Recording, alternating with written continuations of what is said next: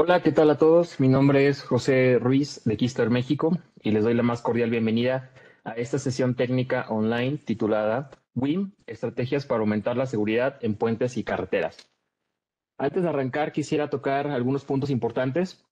Eh, durante esta sesión, las cámaras y los micrófonos de los participantes están desactivados.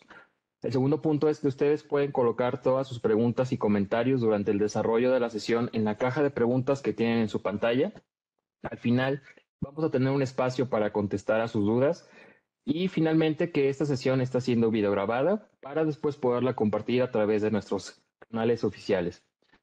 Quiero agradecer a las personas que se inscribieron el día de hoy, así como también a quienes expresaron su interés no solo en este, sino también en todos los seminarios que hemos tenido a lo largo de este año. Recuerden que la información oficial la pueden encontrar eh, en nuestra página oficial www.kisler.com a través de nuestros canales oficiales en LinkedIn y también en nuestro canal de YouTube. Desde luego que pueden acercarse directamente a nosotros, quienes con mucho gusto atenderemos a sus dudas, comentarios y solicitudes. Sin más que agregar, vamos a dar inicio con la agenda de esta tarde.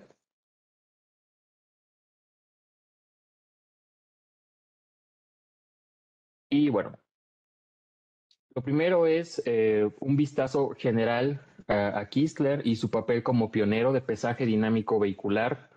Em, también los sectores de interés de esta sesión técnica, la motivación para que este tipo de conversaciones técnicas se den entre los principales actores de la industria de caminos y puentes del país, una descripción de los componentes del sistema de transporte terrestre, las causas de las colisiones en nuestros caminos y puentes, em, también el principio general de pesaje dinámico, el cuidado de las estructuras en puentes, los servicios que brindamos desde Kistler y, como les comentaba, un espacio para responder a sus preguntas. Em, en un vistazo muy general, esto es lo que es Kistler.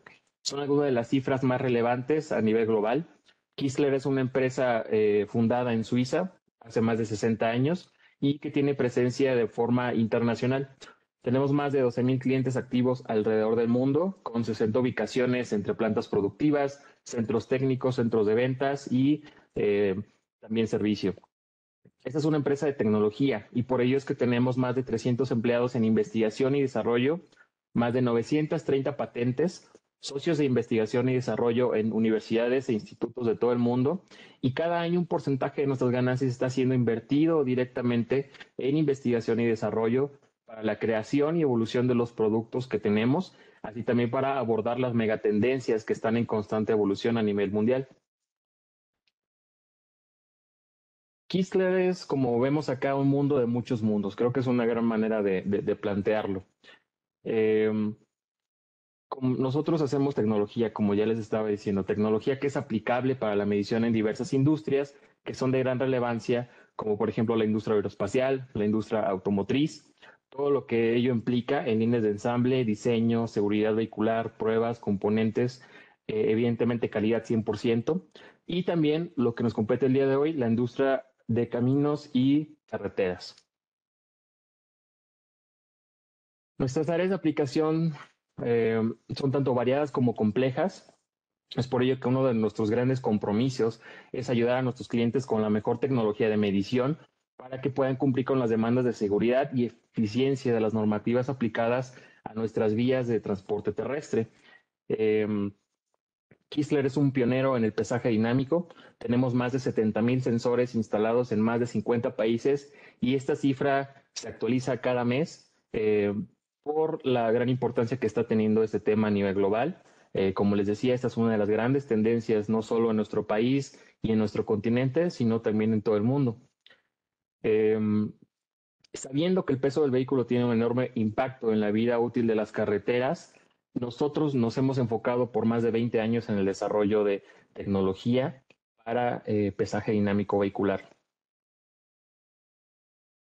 Esta sesión técnica em, es de interés para las instituciones gubernamentales, principalmente. Ellas son quienes definen las normativas basadas en las necesidades de comunicación y transporte terrestre del país, eh, y que implementan soluciones de vanguardia eh, a través de los parámetros o lineamientos que nos hacen saber. También va enfocado a ministerios de transporte y sectores comerciales en las vías, como por ejemplo puertos, aduanas, fronteras, eh, etcétera. De igual modo, también a compañías de mantenimiento vial y compañías de ingeniería y construcción, que tienen la importante tarea no solo de diseñar y construir vías de comunicación terrestre de vanguardia, sino también implementar las tecnologías que se desarrollan alrededor de los puentes y las carreteras y que garantizan una vida útil prolongada. La seguridad en las vías, em, la facilidad de transporte personal y comercial son solo algunas de las responsabilidades que tienen las compañías que nos dan mantenimiento em, y desde nuevo implementación de tecnología de punta para carreteras. Entre los principales motivos em, para la definición de estrategias viales se encuentra el incrementar la seguridad en las carreteras, creo que esa es la, más importante de todas, pero también hay, hay otras más importantes, o, bueno, que comparten importancia dentro de la motivación de esas estrategias, y algunas de ellas son proteger la importante y costosa infraestructura, es asegurar también una competitividad justa en la carretera, eh, el incrementar la eficiencia del tráfico y también ofrecer transparencia eh, en, la carga de, eh, en la carga de tráfico. El sistema de transporte terrestre se compone de cuatro elementos principales. A saber, estamos hablando del vehículo, el conductor, la infraestructura o camino y el medio ambiente. Existen dentro de estos cuatro elementos factores que podemos controlar con el desarrollo tecnológico, como por ejemplo el vehículo, la infraestructura y el camino. Sin embargo, hay factores que son altamente variables y que pueden llegar a salir de los márgenes establecidos por los métodos, procedimientos y normas. El vehículo y la infraestructura, eh, o, también le, estaremos diciendo el camino, son elementos que, basados en la investigación, la información y el diseño, pueden llegar a ser altamente controlables de manera independiente para reducir su influencia en el conjunto. De acuerdo con eh, el Anuario Estadístico de Colisiones del año 2021 publicado por el Instituto Mexicano del Transporte, estas son las principales causas de colisión en las carreteras de México a nivel nacional. Como pueden observar, hay un gran número de influencia eh, en, las causas de colisiones de las carreteras del país, eh, las cuales se derivan de los principales elementos que estábamos mencionando, los cuatro principales elementos. Si nos enfocamos a las causas derivadas eh, por el vehículo, eh, como lo podemos ver, resalta que una de las subcausas es el sobrepeso vehicular, así como el exceso de dimensiones en el vehículo. Es un número pequeño si lo comparamos con el resto de las causas, pero eh, no debemos perder de vista que las otras causas que tenemos en esta, en esta tabla, en este estudio, pueden estar derivadas también por sobrepeso y por exceso de dimensiones. Vamos a resaltar en esta gráfica las que pueden estar influenciadas eh, por un sobrepeso o exceso de dimensiones. Malas condiciones mecánicas, neumáticos que, van a falla, motor, eh, elementos de freno, elementos del tren motriz, transmisión, suspensión, dirección, eh, incluso tema de ejes, rotura de ejes, Todas estas pueden estar derivadas como les comentaba, sobrepeso y exceso de dimensiones. También se habla de una carga mal sujeta y podemos relacionarlo a una mala estiva de la carga.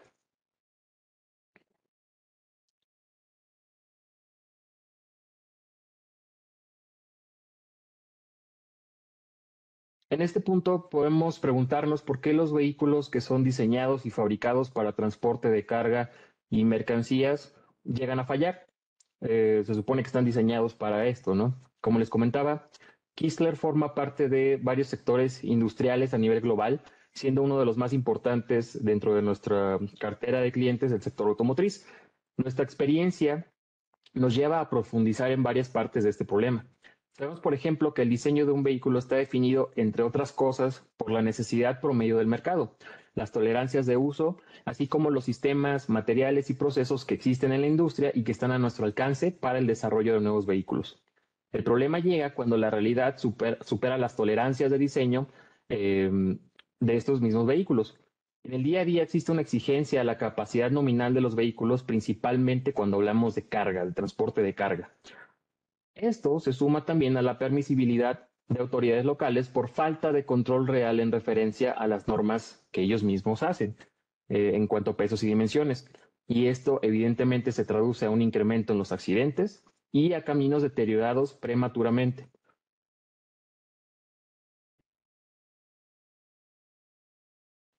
Desde Kister acompañamos a un sinnúmero de empresas cuya misión es diseñar y construir los vehículos de uso personal y comercial de la actualidad, siguiendo estas cuatro megatendencias globales que son la conducción automática y conectada, la electrificación, la realidad aumentada y la producción eficiente en la fábrica inteligente. Algunas de estas tendencias nos ayudan incluso después para uno de los elementos eh, que teníamos en, en diapositivas anteriores, del transporte terrestre, que es el conductor. Es muy variable y es muy difícil de controlar ese, e, e, este, digamos que este elemento del transporte terrestre. Sin embargo, con asistencias de conducción avanzadas podemos prevenir accidentes que son atribuibles al conductor. Sin embargo, de poco sirven todos estos avances tecnológicos eh, que se incluyen en los vehículos de última generación si estos mismos se siguen usando fuera de especificación sin un control alguno, sin un control real. Al final del día, como les he comentado, el vehículo está diseñado de forma nominal para el tipo de uso al que está destinado, más las tolerancias que le permiten a los sistemas y materiales eh, cumplir con la función con la que se fabrican. Los vehículos sobrepesados constituyen una amenaza para la infraestructura cuando son utilizados fuera de la normativa de pesos y dimensiones y fuera de las especificaciones de diseño de fábrica. Como ejemplo, un camión de tres ejes con un peso bruto vehicular de 30 toneladas causa el mismo daño a la superficie de la carretera que 7.500 vehículos pequeños o de pasajeros. Imaginen qué pasa cuando este mismo vehículo, este camión de tres ejes, eh, que soporta 30 toneladas, quizás nominalmente se le carga con 40 o 50 toneladas. El daño que está ejerciendo sobre la carretera, sobre los puentes, se incrementa de forma exponencial. Además de que la, vida útil tanto de la carretera como del vehículo se disminuye eh, bastante. De igual manera, un vehículo sobrepesado requiere una distancia de frenado mayor hasta en un 60% que la de un camión que está cargado de manera correcta y dentro de especificación es lo mismo lo que les comentaba. Eh, eh, no solo estamos hablando de que requiere otras características y otras condiciones de operación este tipo de vehículos, sino también otro tipo de mantenimientos, otro tipo de vías, eh, todo absolutamente alrededor cambia cuando estamos hablando de las influencias en el sistema de transporte terrestre. Analizando brevemente la influencia de la infraestructura como causa de colisión, eh, se detectan varios factores, resaltando para los fines de esta sesión técnica los desperfectos de la carretera. Estos desperfectos, a su vez, son en parte originados por un mal uso, perdón, un mal uso de la infraestructura, entendiéndose como el daño ocasionado por los vehículos sobrecargados y la falta de medios eh, reales para la protección de caminos y puentes de forma activa y preventiva. Kistler, como pionero del pesaje dinámico vehicular en carreteras, tiene una gama completa de tecnología de medición para ayudar a disminuir de manera dramática la influencia de los vehículos sobrecargados y a su vez favorecer la obtención de información para el planeamiento de nuevas vías. Eh, no solo el planeamiento, sino también el mantenimiento eh, de los caminos y puentes ya existentes. La base de nuestra tecnología en este y en otros campos de aplicación es la tecnología piezoeléctrica con cristales de cuarzo. El principio general de pesaje dinámico es medir el peso de cada vehículo a cualquier velocidad. Para ello nos valemos de una cadena de medición que en términos muy generales está compuesta por sensores de fuerza, eh, que detectan la carga dinámica de cada rueda cuando el vehículo circula por encima de ellos, como lo podemos ver abajo a la izquierda. Después los sensores de presencia que nos indican las señales que pertenecen a cada uno de los vehículos que circula y constituyen también un trigger de accionamiento para no solo los sensores, pero también para elementos periféricos. Y eh, finalmente la electrónica que calcula la carga de cada rueda eh, ruedas y ejes, así como todo el peso del vehículo, el peso bruto vehicular. Con la tecnología de Kistler, esto ocurre en tiempo real en el 100% de vehículos que circulan por las carreteras y los puentes donde los sensores estén instalados, sin necesidad de que los vehículos se detengan, disminuyan su velocidad o tengan que hacer algo distinto a circular normalmente. De hecho, una de las ideas principales es que esto ocurra eh, de manera oculta, por así decirlo, eh, y que estos sistemas, estas estaciones de pesaje pasen desapercibidas eh, en, nuestros caminos. Nuestros sistemas de pesaje dinámico vehicular se dividen en, varias, varios tipos de soluciones, digamos, que sirven a un final, siendo nuestra gama de entrada el sistema que, vemos acá, el sistema estadístico para colección de datos. Entre las características clave eh, de este sistema está el que cuenta con un sensor diseñado para optimizar la relación costo-rendimiento sin sacrificar nuestra tecnología de cuarzo que ha sido punta de lanza en el pesaje dinámico vehicular durante muchos años. A su vez, la electrónica que acompaña este sistema tiene capacidades no solo de procesamiento de señal de los sensores con alta precisión, sino también la capacidad de interpretar y desplegar una gran cantidad de datos que son de mucha utilidad acerca del vehículo que se está midiendo en tiempo real. La interfaz gráfica de usuario del sistema no requiere de una instalación de software y esto facilita en mucha medida la forma en la que se acceden los datos y se configuran estas estaciones de pesaje, tanto en sitio como de forma remota. Es muy importante. Otra de nuestras grandes soluciones eh, es el sistema Key Traffic Basic, el cual constituye nuestro buque insignia en pesaje dinámico vehicular. Este es el primer sistema WIM de alta velocidad certificado por la Organización Internacional de Metrología Legal, lo cual nos garantiza su uso y fiabilidad en aplicaciones donde existen transacciones comerciales o restrictivas relacionadas al peso vehicular.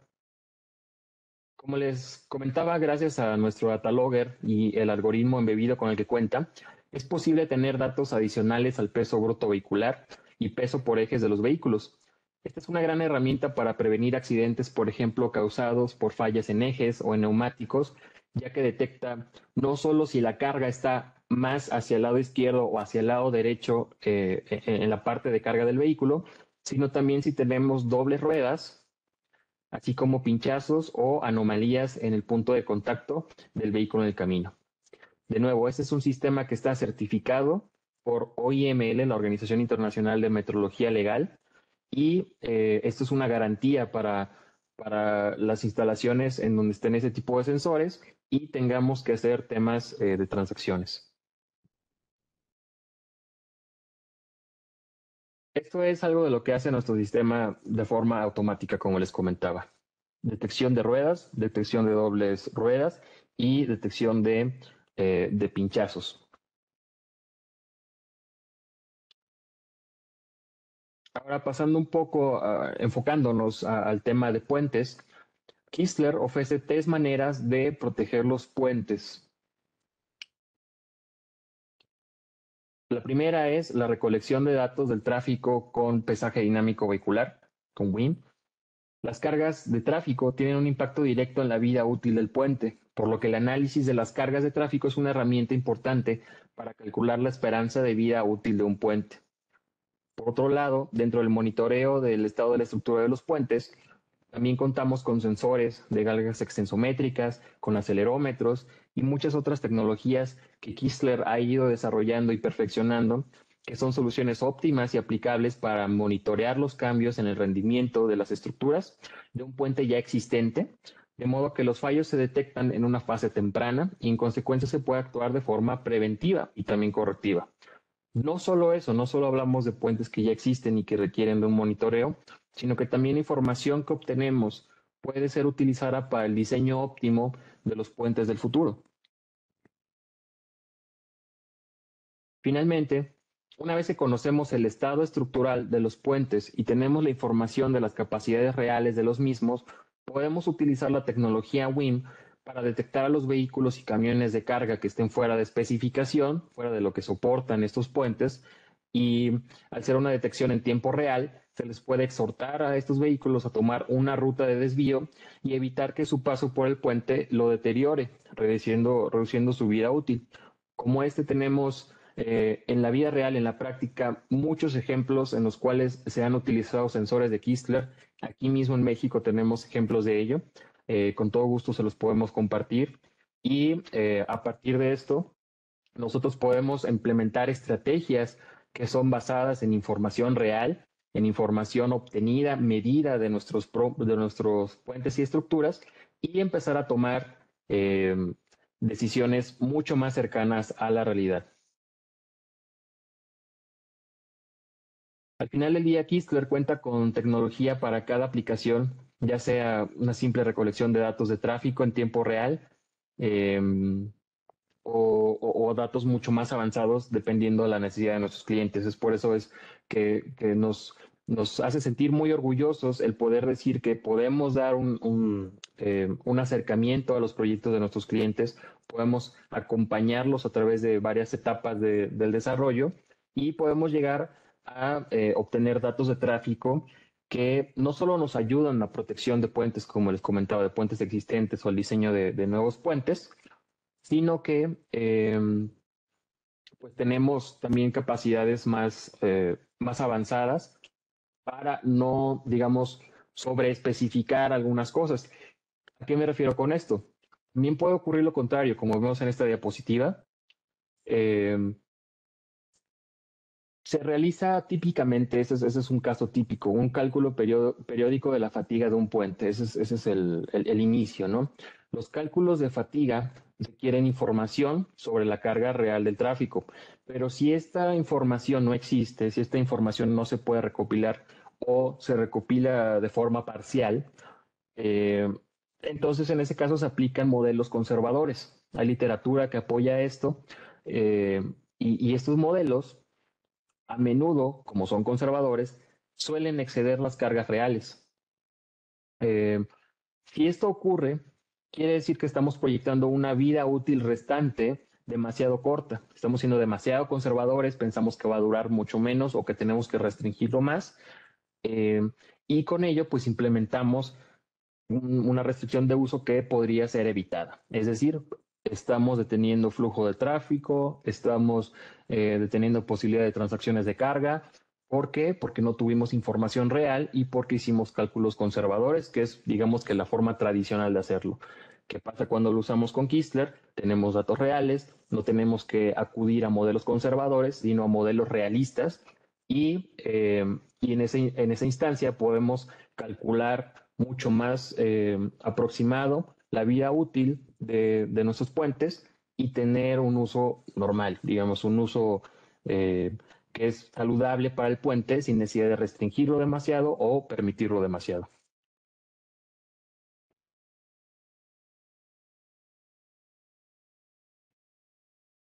Eso es lo que les comentaba. Al final del día tenemos eh, en Kistler tecnología para distintas aplicaciones, ya sea recolección de datos en tiempo real y al 100% de, los vehículos que circulan, em, sino también llevamos a implementación de enforcement, que es básicamente penalización o restricción em, de, circula, de la circulación de vehículos sobrecargados. Todo esto de nuevo en tiempo real eh, todo esto con nuestro mismo algoritmo que nos permite obtener más información, por ejemplo, velocidad, carga por eje, eh, distribución de carga, etcétera.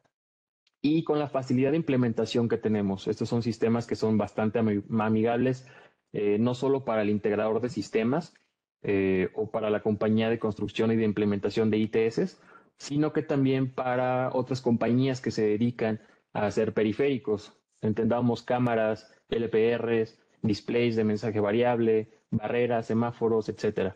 Este es un sistema que se acopla al lenguaje universal de, estos dispositivos y que pueden ser una parte fundamental de tu estación de pesaje eh, para puentes y carreteras.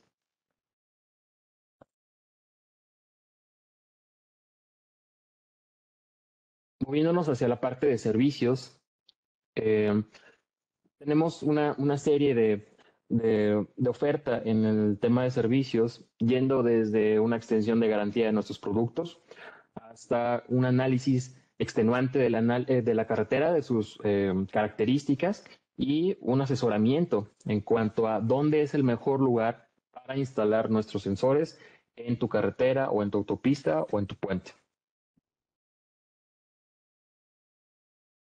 El acompañamiento inicia desde la gestión del proyecto, avanza con la instalación del sistema.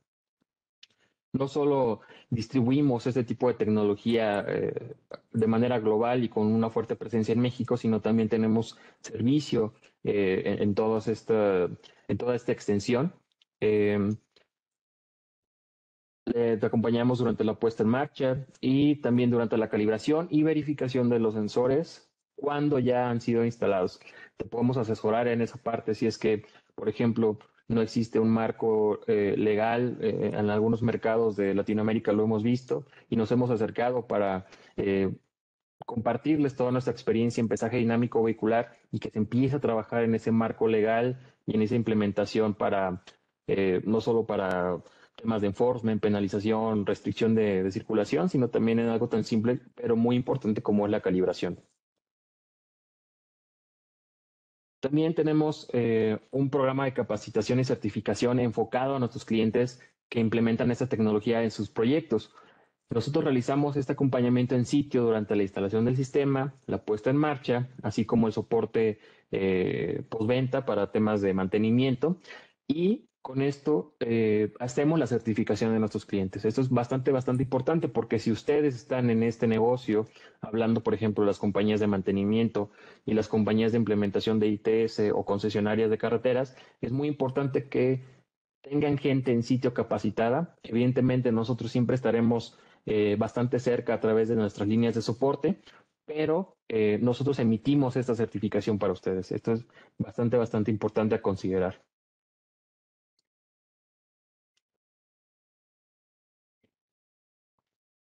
Y bueno, hemos llegado al final de esta sesión técnica. Ahora es momento de escucharlos a ustedes, de manera que vamos a revisar las preguntas que nos han hecho llegar el día de hoy.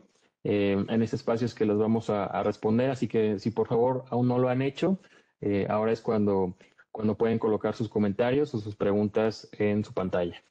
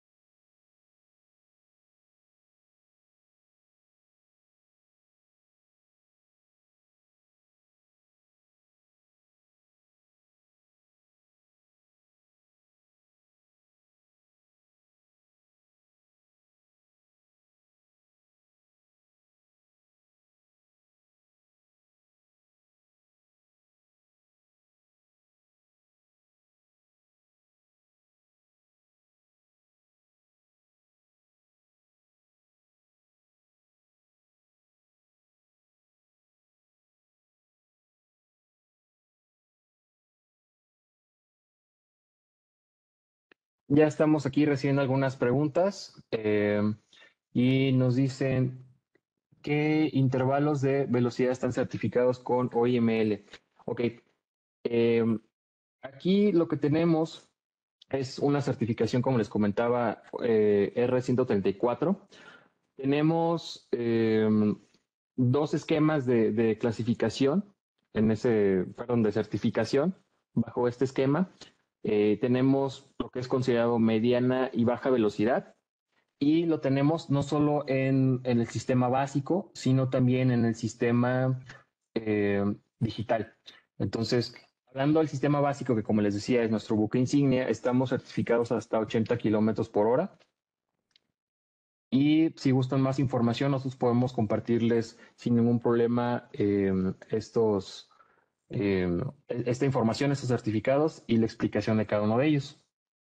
También nos preguntan si, tiene, si tenemos equipos instalados y operando en México. Sí, eh, tenemos desde hace varios años equipos instalados eh, y que siguen hasta la fecha operando sin ningún problema aquí en México, eh, México, Latinoamérica, Estados Unidos, prácticamente en países de, de, cada continente. Y nosotros también sin ningún problema podemos hacerles llegar la información. Tenemos casos de éxito documentados, casos de éxito aquí en México que quedaron bien registrados y sin ningún problema vamos a, a hacerles llegar esta, esta información. Tenemos también otra pregunta. ¿Cuál es el procedimiento que se emplea para la selección del sitio? Ok, eh, tenemos un, un, servicio que se llama análisis estructural de, de carreteras. Este, hay, hay, dos niveles. El primero es un análisis IRI, un análisis, eh, vamos a decirle visual para no ahondar un poco más en esos detalles, y hay otro a través de deflectometría. Entonces, lo que se hace es analizar un tramo de 200 metros de la carretera, eh, digamos un, un punto estimado que se tenga por nuestro cliente o en este proyecto, y eh, a través de estos se pueden hacer los dos estudios o se puede hacer uno u otro. Eh, nosotros analizamos los resultados y emitimos un, un, una recomendación acerca de cuál es el mejor sitio y nos basamos en varios, eh, en varios puntos, pero los más principales, como les comentaba con esos análisis, es un análisis eh, superficial del camino, pero también el análisis de deflectometría que nos permite no solo ver la superficie que esté en condiciones adecuadas, en condiciones por norma, sino también eh, las, las, las, partes que están debajo, los, los distintos niveles del camino.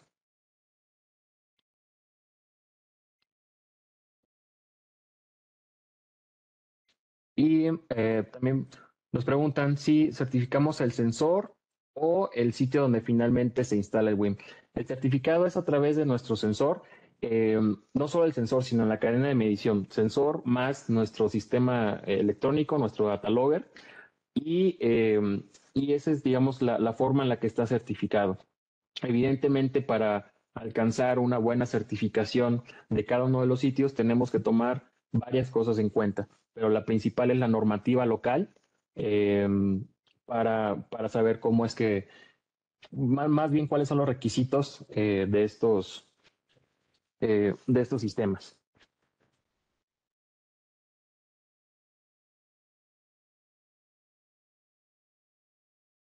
Y si nos comentan si pueden comentar algunas uh, áreas de oportunidad en la norma NOM 198 para sistemas WIM. Sí, yo creo que, eh, bueno, es un tema que yo creo que, alcanza para una conversación mucho más larga, pero eh, es una norma que quedó un poco eh, en el pasado en cuanto a estos sistemas.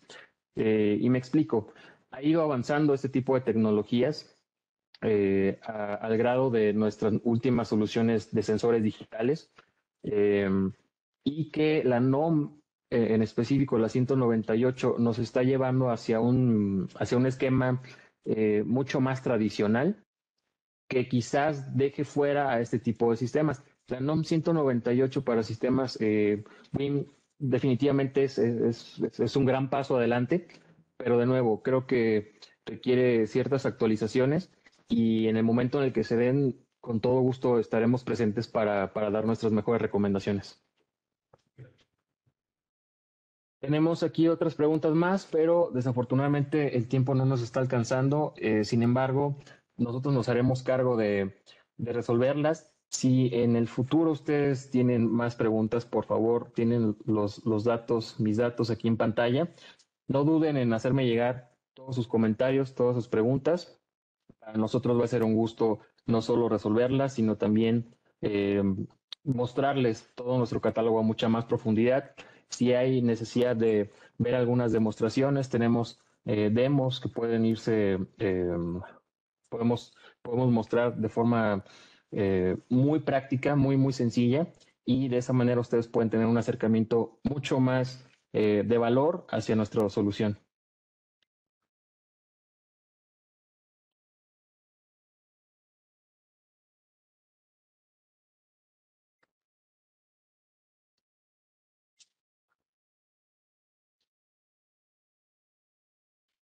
De nuevo, muchísimas gracias por la participación el día de hoy. Eh, en definitiva, es de nuestro gran interés al colaborar con sus proyectos.